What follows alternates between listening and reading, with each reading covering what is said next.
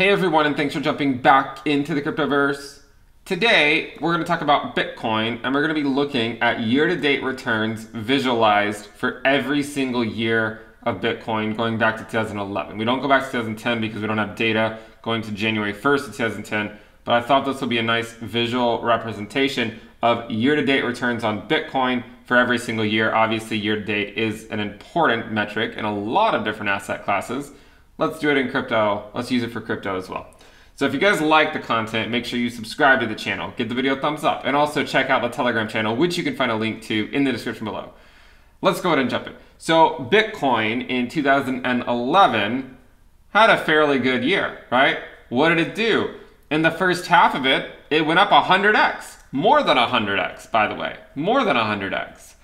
Now, did it finish the year off at 100x? No if we were just blind to what happened in the middle of it, we could say even then it still finished the year above a very modest 10x, right? Somewhere between 10 and 20x. If you're not familiar with these charts, this is a logarithmic scale. So 10 to the 0 is 1, 10 to the 1 is 10, and 10 squared is 100. Each major tick is 10x up. This, the reason we do this is because it gives a great way to visualize data that spans orders of magnitude. Okay, if we don't do it like this, then it sort of drowns out most of what happens in, in, in, a Bitcoin chart. Because as we know, Bitcoin likes to span orders of magnitude. It's gone up, what, 100 million percent since inception. Therefore, logarithmic charts generally make sense. And even if we discretize it yearly, it still makes sense, okay? Because Bitcoin can put in fairly nice returns even in a given year. Now, I know there's going to be some people that are going to say measuring it year to date probably isn't really that useful. And to some degree, you could be right, right? I mean, I'm not I'm not saying that you can take this to the bank because they're not going to cash it in, that's for sure. I'm not saying that this is the best analysis I've ever come up with because it's probably not, but it's just one more thing we can look at, right? And again, a lot of uh, a lot of asset classes use this. People want to know what's the what what are the returns year to date, and therefore let's visualize it. So here's 2011, finished the year off at between 10 and 20x. Now 2012 was certainly not a year to get out of bed for, right? I mean, Bitcoin's peak in the year, if measured year to date, was again, it was somewhere between say two to three x. Not a great year, even for for back then. And I mean, 2012 was fairly early on in Bitcoin's life cycle. I mean, like who wouldn't want to buy Bitcoin in 2012 if you could go back in time? But actually, in 2012, if you had bought it at the beginning of the year, by the end of the year, the returns would have been somewhat okay, right? Bitcoiners today don't get out of bed for a two to three x move. I mean, I know maybe that makes us sound greedy, but it's sort of true, right? I mean, when people are accumulating Bitcoin at, at four thousand dollars, it's not like they're gonna they're not gonna ring the, the the the victory bells when it goes to 8k or 12k, right? This is just simple accumulation. 2013.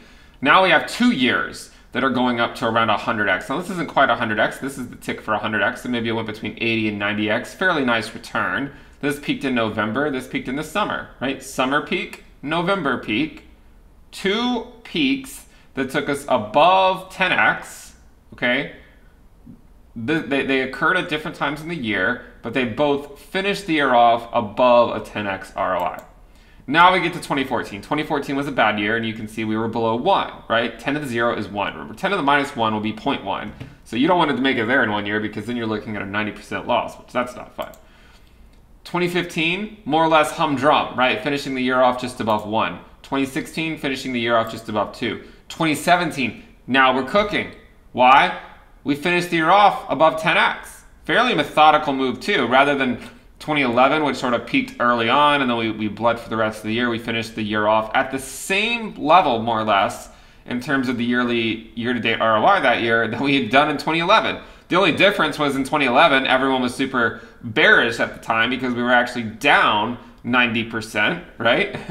um, maybe not 90, maybe 80 or something. We were down significantly that by that point, but everyone people were bearish just because of what most recently happened. But 2017, we finished the year off at the same return, but everyone was euphoric because again, people are they, they react to the market what it's doing that day or what it's doing in the most recent month, not what it did on on on say the entire year. Um, so it has a way of, of clouding the judgment as to how the asset performed. 2018, another bad year, right? So 2014, 2018 were bad years. A lot of people are expecting 2022 to be a bad year. And look, it could be a bad year, but at this point, until Bitcoin actually shows that it's going to do something more impressive than, than hanging out here, I don't necessarily we think we need to be overly concerned with a long bear market in 2022. Could it happen? Yeah, it could. What are ways it could happen? If Bitcoin goes to like 150 to 200k within 60 days or something, yeah, like it's probably going to be a bear market year. If it doesn't do that, then I mean, I still think time is on our side, right? I still think time is on our side. Now, 2019, fairly interesting year, but we finished the year off at around a 2x or so, right? So, so nothing too impressive. 2020 was actually a fairly interesting year because it went down all the way to $3,800. But again, we're not measuring it from from the from the yearly low. We're measuring it from year to date. And if you measure it year to date, we're only up around 4x in 2020. Why? Well, I believe we started 2020 somewhere between 7 and 8k, somewhere around that area. We finished the year off at 28 or 29k. Makes sense, about a 4x or so. 2020 is the closest year we've had to these other years. Okay, so so far, year to date, 2020 is the fourth best year out of all of them, right? Fourth best. But a lot of people don't really consider 2020 to be that great. Uh, they, they always think about 2021 being the year that, that Bitcoin was supposed to, to, to go insanely parabolic. And look, it is not lost on me that it still could. Again, I know I know I say, you know, Bitcoin's not going to go to 300k this this year. Um, and then some people say, well, you know, you don't know that, right? Because it could still do it in six weeks. Fine, it could, but they've been saying that the entire year. I mean, once upon a time, we were supposed to have gone to 300K several months ago. So at some point, you just sort of grow tired of hearing the same thing over and over and over, and they're, you know, just shifting the target another month down, the, another month away, another month away. Well, eventually you'll be right, right? Eventually it'll go to 300K. But that's not the point, right? Just speculating the Bitcoin's going to go up 5x in six weeks um, is is highly unlikely, right? It's highly unlikely. Could we go to 100k this year? Yeah, I mean we could go to 100k. Um, 300k? No, I I really don't think so. Um, but again, it's not lost on me that, that it is possible. I, that is a common question or a common comment I see is, you know, well, just you wait for for, for next week, right? For, for, for, for next week. That's when we're going to go to 300K. Um, look, as I've said before, I'd rather be rich than right. If it goes to 300K, then fine. I was wrong. But I don't anticipate Bitcoin going to 300K this year. Okay. Now, let's get to 2021 because that's, I'm sure, what people want to talk about. Here's 2021. What's it doing? Right? I mean, it, it's all the way down here. It's up about 2x. I mean, so 2x it can't be right. How, how can it only up 2x? Bitcoin started the year at around $29,000. We're trading for 62K. So 29 times 2 is 58. We're barely trading above 58. We were at 58 just a few days ago. So, yeah, for 2021, despite all the headlines and all the Bitcoin to the moon thumbnails that you've seen for the entirety of the year, we're up 2x, right? We're up 2x. It's not even the fourth best year. Hell, it's not even the fifth best year so far. Now, could it overtake those? Of course it could overtake them. I mean, if, if Bitcoin went to say 90K by the end of the year, then we'd be looking at a 3X. But even then, it would still be underperforming 2020. We would have to go to 120K more or less to just to get to the same returns that 2020 saw year to date, right? And, and we're not even there yet. We still need to go up another 2X. So you can see that 2021, again, while it's been cracked up to be to, to, to be the, the year that Bitcoin's just going to go straight up, it actually hasn't been that way.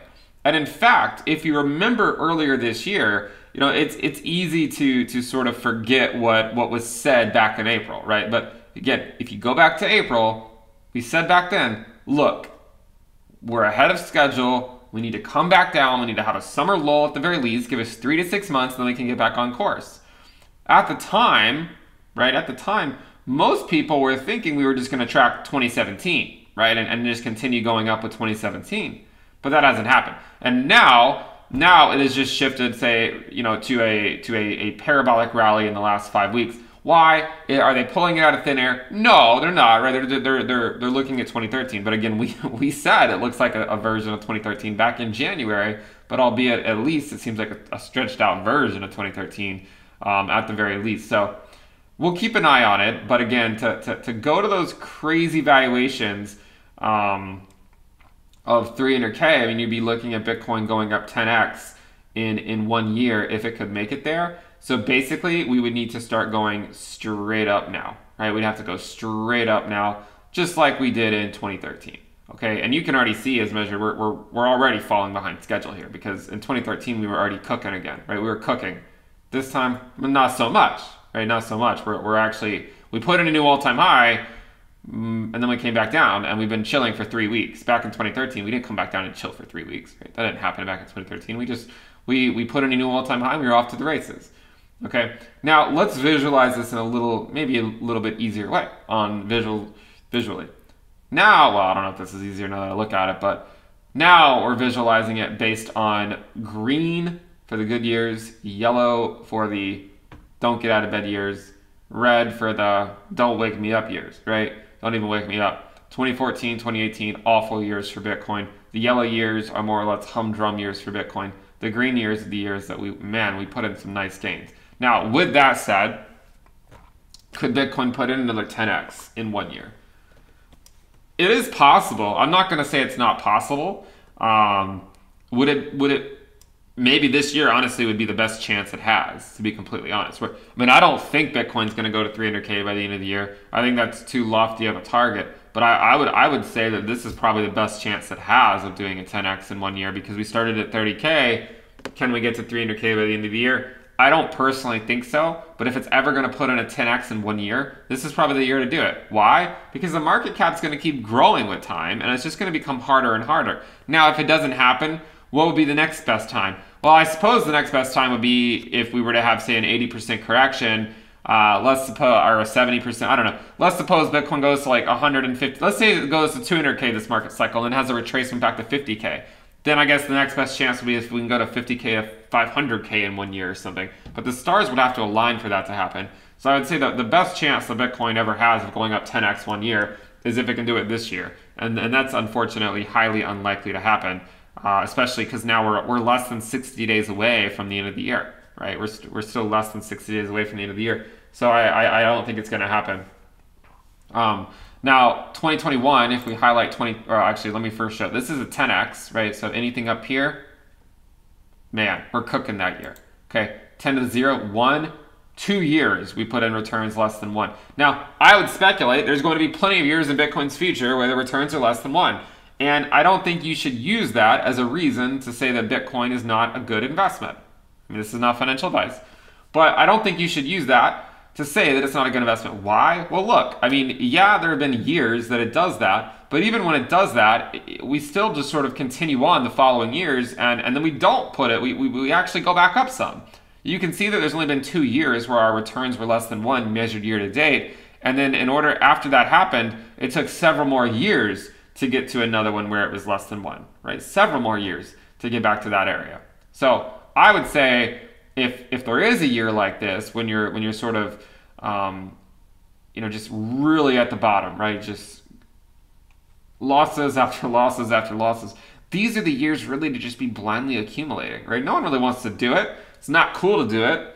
If you're at like a you know if you're at some like reunion or, or some family get together someone might say you know how's bitcoin doing with a little smirk on their face or something right but um that's really just the time where you just kind of smile and nod and, and, and secretly uh, DCA Bitcoin because that's where the real money is made, right? These are the years where the real money is made. The people that bought in 2014, they they saw the best returns in 2017. The people that bought in 2018 and 2019, those are the ones that saw the best returns over here. Okay, so we're gonna have years like that in the future where Bitcoin goes down by the end of the year, but those are the best times to accumulate.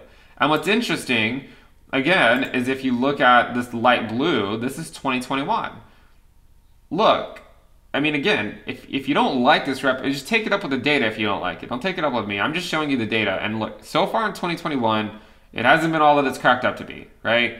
We did not go to 300K earlier this year. In order for us to do that, we have had to see an ROI go all the way up here, which we did not do, or all the way down here, okay? Now, the question is, is what's going to happen between, say, now and the end of the year? Could we continue to trend higher? Yeah, I mean, if I had to guess, we'll probably be higher than we are right now by the end of the year, if I were guessing. But I don't really care if we are or we're not, right? I mean, if we're not, I, I don't think we're going to go back down to, say, 20K or 30K or anything. I mean, you know, could we have pullbacks to, to, to 50K, to 55K, 45? It's possible, right? It's possible. But look, that's not why we're here. We're not here for, you know, to claim, oh, it's going to go up to a certain value by a certain date. We're here to say, look, Bitcoin's a good investment. and uh, we recognize sort of where we are. And so far in 2021, it hasn't really been what it's cracked up to be. Could it become what it's cracked up to be in the last 60 days or 50, 55 days, whatever, whatever it is at this point? Yeah, it could, but let's let's remain a little bit more conservative. I think the best way to navigate the cryptoverse is to have conservative predictions and just be pleasantly surprised if if they out if it outperforms, right? Say, all right, well, you know, if Bitcoin goes to 70k, 80k, 90k, ah, it's great if it if it outperforms that, even better. Okay, so what I would prefer, honestly, is I'd prefer for us to just continue slowly moving up. Right? If you slowly move up, we're not going into that manic bubble territory like we were back over here at 58k, uh, 60k, 64k, or 58, 61, and 64. This was when we said, hey, look, guys, we need to come down for a while. We're too far ahead of schedule. And so now, right now, we're, we're at a we're at a year-to-date return of just over 2x which is actually very similar to a lot of other years, right? I mean, it's very similar to, uh, let's go back. It's very similar to um, 2012, 2020, 2016, um, 2019, right? Like it, it, it so far has not been that special of a year for Bitcoin. Now, with that said, it has been very special for other coins. I mean, Ethereum is is is cooking, right? I mean, it started the year at seven hundred dollars, right? I shaved my head because it was just bleeding against Ethereum. What choice did I have? So, 2021 has been great for the altcoin market. It's been absolutely terrific for the altcoin market. We've seen altcoins put in phenomenal gains, but Bitcoin is only up 2x, okay?